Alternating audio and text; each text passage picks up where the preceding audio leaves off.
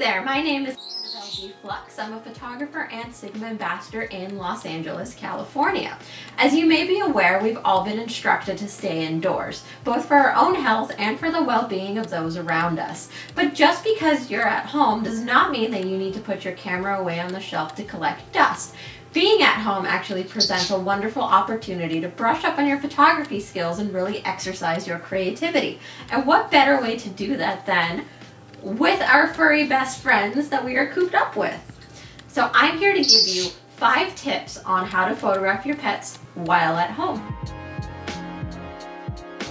Tip number one, your settings.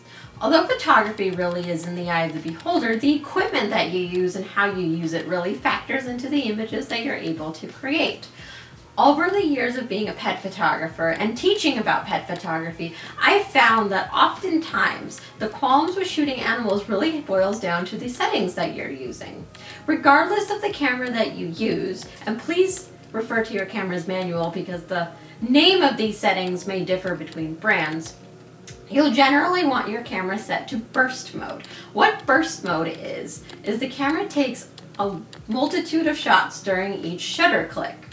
This is where the camera's frames per second, or FPS, really come into play. Frames per second tells you how many images that camera can take per second. So when you set the camera to burst mode and you hold down the shutter, that many images is taken every second that your finger is down on the shutter. The reason you want to take a burst set of images with animals is that most of the time they're just not going to cooperate. I mean, animals blink, they look away, and they have spontaneous movements, and you're able to capture all of it when you set your camera to burst mode. The next setting you're going to want to look at is your autofocus settings. The autofocus you're setting you're going to want to set your camera to is called continuous mode. Between brands, it can be continuous focus. I believe with Canon it's called AI Servo. And what that does is the camera will continuously refocus on the subject that you set it to. So as your animal is moving around, the camera will continue to hold that focus and very, very quickly keep refocusing on each movement. However, you do have to remember that the camera is not intelligent and it's not thinking for you, so you do need to keep an eye to make sure that the focus is actually locked on your subject. The combination of these two settings is really the secret to capturing really, really remarkable animal photography. That's also how a lot of sport photographers capture their subjects as well. You're essentially mimicking sport settings. Even with your animal just portraits or them just sitting down, you still never know what they're going to do. So it's good to keep those settings on at all times. Next is the lens that you decide to use. The lens that you're using really does affect the aesthetic quality of your images the most, even more than the camera does. And for me personally, when I photograph indoors, I really gravitate towards shallow depths of field. And shallow depths of field is when your aperture is quite wide. Not only does that let in a lot of light, but it really creates a beautiful separation between the subject and the background because anything that is not on the focus plane is out of focus. So the way that focus works is, again, it's an invisible line called a focus plane. And whatever subject is sitting on that invisible line is in focus and whatever is not on that line starts to blur away depending on the kind of aperture that you're using. My favorite aperture to use is an f1.2 which is one of the widest apertures you can actually get in a lens. That is an autofocus lens. And my lens of choice for the most part is the Sigma 35mm f1.2 for mirrorless systems. Now, shooting an f1.2 creates truly dreamlike and mystical shots. It's something that allows you to not have the location factor as heavily into your image, which allows you to shoot really anywhere in the house and be totally fine. Half the time you might not even know that it's in your house depending on how you frame that shot and where you take the photo itself. Now, if you want to challenge yourself a little bit, you can also try shooting with a much deeper depth of field. Say an aperture of f8, 12, f22, because at that point, more things will be in focus in your shot. And as such, the image becomes a more storytelling shot. It becomes a bit more documentarian. Um, everything that's in the frame itself actually factors into the image itself and it's something that a lot of photographers actually don't practice very much and having your pet at home and lounging around in your house is a great opportunity to tell a story about what your pet is like and really express their personality.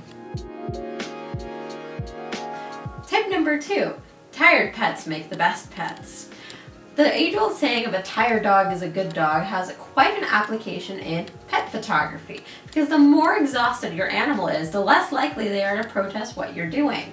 So if you want those beautiful portraits or those serene laying down shots, make sure to play with your pet prior to doing the photo shoot. And I mean really play with them. Exercise them, get them to run around, get them to the point where they really are just too tired to argue with you.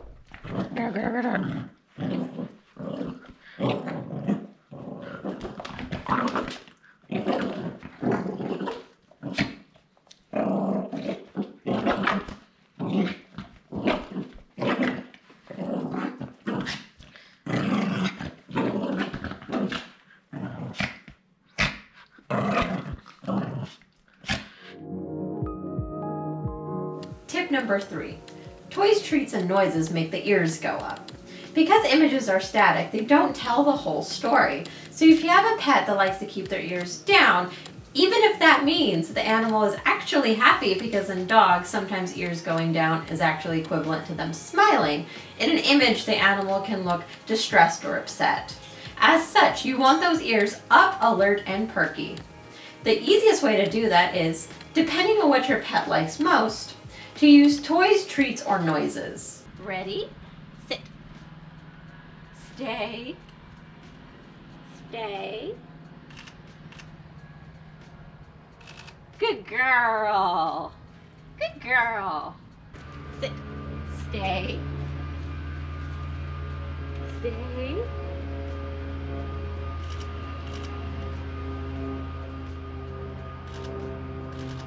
Good girl.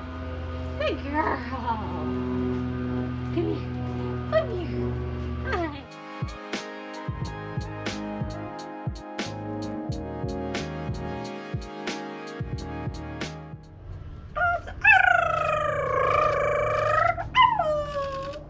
Good girl.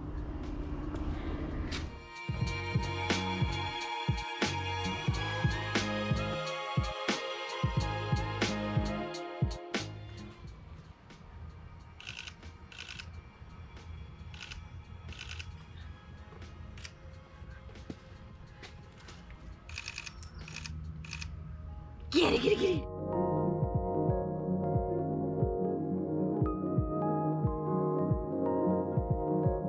Tip number four, get creative with it. There's so many ways that you can use photography to showcase your pet's quirks and characteristics. Take this time to practice thinking outside the box, whether it's using unique compositions and perspectives to incorporating props and other such sets into your photography.